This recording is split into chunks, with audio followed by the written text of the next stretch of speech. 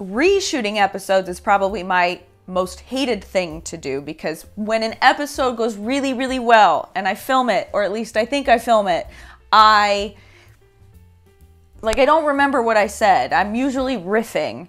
And this episode that I already shot was riffing really well and it was short and concise and I spoke well and I didn't stutter and I wasn't filming. I hit the filming button when I thought I was not recording. So we're reshooting this. But this is so fun. But welcome back to the Off My Meds pod.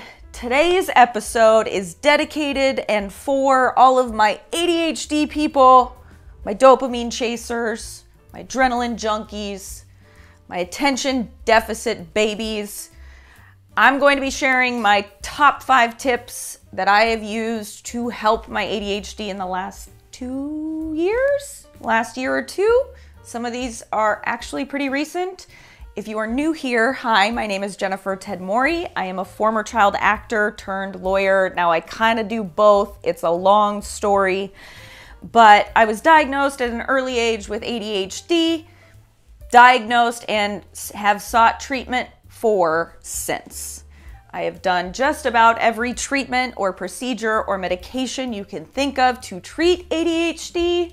I've done hypnotherapy, I've done neurofeedback, biofeedback, I've seen therapists, I've talked to hypnotherapists, astrologers, I've taken natural and pharmaceutical drugs my entire life. So I think I'm fairly equipped to be speaking on this matter. However, do not rely on me for any sort of medical diagnosis. Everything that I'm mentioning in here is not something that you just consult your fucking doctor. I'm not even gonna I'm not even gonna make that statement. Consult your doctor. But most of this stuff is natural if they are supplements. This is for my ADH and non-ADHDers. I think anybody that doesn't necessarily have ADHD but maybe has anxiety could benefit from I think all of the supplements and things that I, I mentioned. So there are some tips for you as well. And if you're thinking to yourself, Jen, I'm broke, I'm probably not going to be able to afford anything that you're going to recommend. Most of these that I'm going to be recommending are fairly low cost. Three out of the five things are free. So I wanted to at least share some of my experiences. Now, these are not things that will necessarily naturally make your ADHD completely go away, but these definitely help. I cannot, I try to have consistency with these things that I do. I am far from perfect. I do not follow these regimens every day, but I come I've come pretty close with some of these. And I think it's in our nature as people with ADHD to I don't want to use the term self-sabotage, but some, sometimes consistency with these things that help us are probably the most impossible things to accomplish. I struggled a lot with taking natural supplements and having a, a regimen about it, but I can promise you that if you dedicate at least two weeks for anything that I mention herein about spe- about specifically supplements, they will probably massively change your life.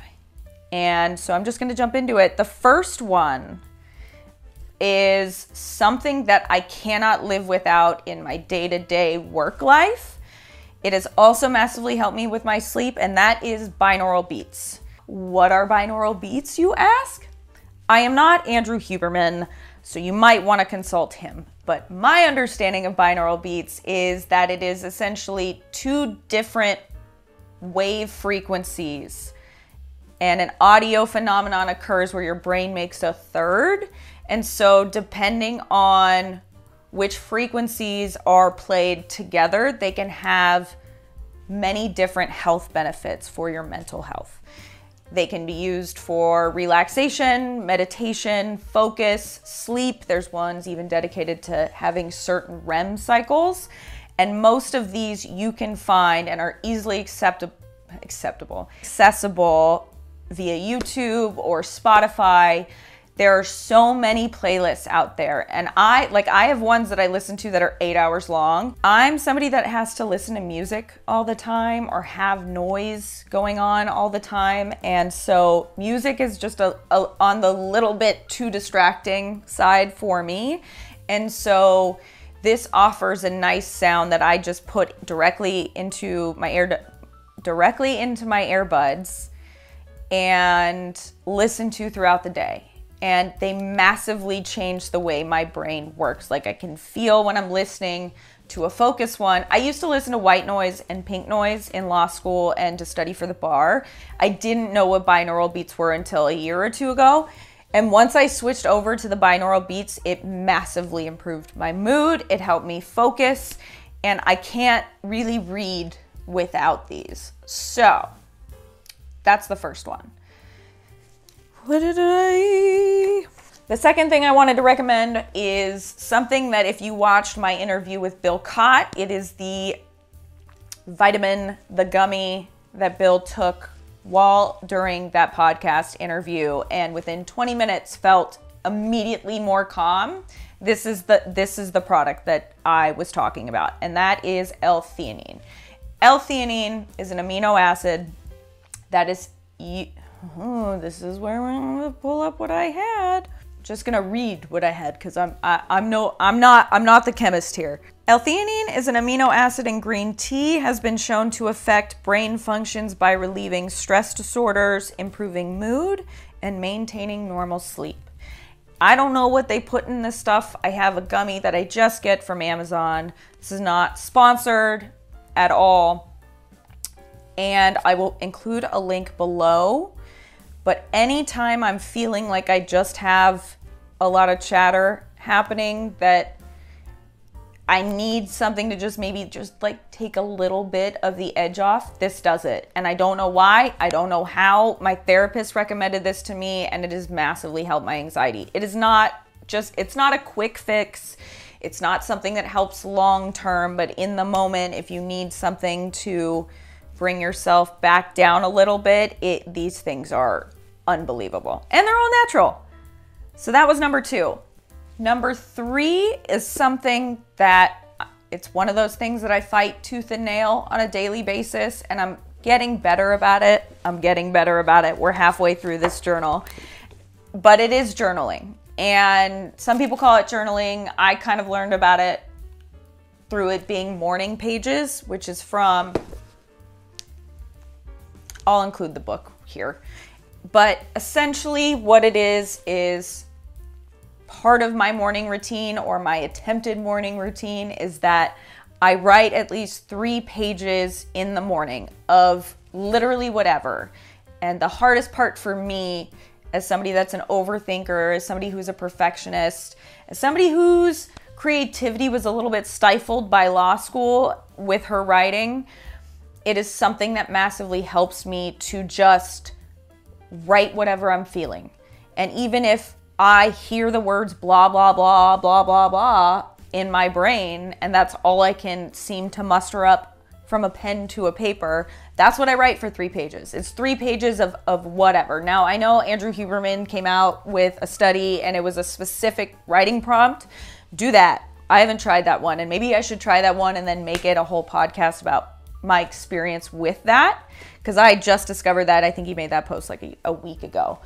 But journaling, writing in general, getting all that trash from my from my night's sleep and all those thoughts and like negative thoughts and subconscious thoughts i just get it out on paper and my those days that i do journal go massively massively better so i just need to do it more consistently i think that don't we all feel that way we just need to do it a little more consistently the fourth thing is something that helps me massively with my sleep. I hate melatonin. I hate, hate, hate melatonin. This product has a tiny bit, like not even enough for me to tell, but melatonin makes me groggy. I can't, I can't it's like taking NyQuil for me. I just, in any dosage, melatonin just feel like ruins my productivity the next day because I'm always tired and fatigued. But this chewable has changed my sleeping ability. Going through a bunch of trauma, my sleep and being on and off medications my whole life has like really messed up my nervous system, which in turn has really affected my sleep. This helps me go to sleep naturally. It is a natural chewable. There's a little bit of melatonin, but it's like GABA. There's L-theanine in there, vitamin B6, and it just gives me a nice little it makes me just the right amount of sleepy and I'm able to get a good night's sleep and I do not wake up feeling groggy. So that is the Brain MD put my brain to sleep naturally. No, Brain MD put me to sleep naturally. And the final thing that I use and that has helped me massively with my ADHD is something that I have fought tooth and nail my entire life. Regardless of how much it benefits me, I literally will find any excuse to do anything other than this activity. So when you hear me say it, please do not cringe because I know how you feel. However, I will say doing this and being more consistent about it and kind of working my way up to it has changed my brain forever. And, you know, in the last two years of me kind of healing and working with my therapist and figuring out all these deep seated issues that I've had um, solely deeply embedded in my subconscious that I didn't even realize I was doing these things and I had these bad habits meditation is the one thing that has helped me reverse the way that those subconscious thoughts are programmed. And again, I need to bring the expert on to talk about the reasons why this helps. And I know there's plenty out there, but it's meditation. And I've really developed a different relationship with meditation in the last year and a half, and now I look forward to it. And if you're already saying no to yourself, just give me two weeks of doing it for 60 seconds a day. You can start at a minute, start at five minutes, do whatever you're comfortable with. I'm somebody that hates sitting still. I'm somebody that regardless of the position that I'm sitting or laying in, I will my thoughts go thousand miles at an hour at all times.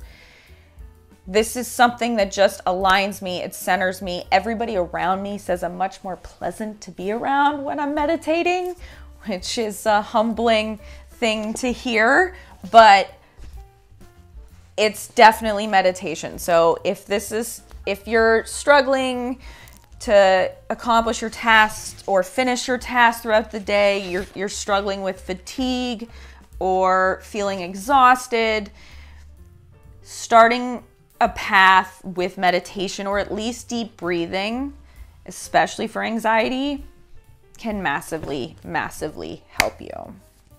So that's the fifth. I've got five more, but I think we're just gonna start with that. But yeah, let me know your thoughts. Let me know if you've done any of these, and uh, I'll see you guys on the flip side.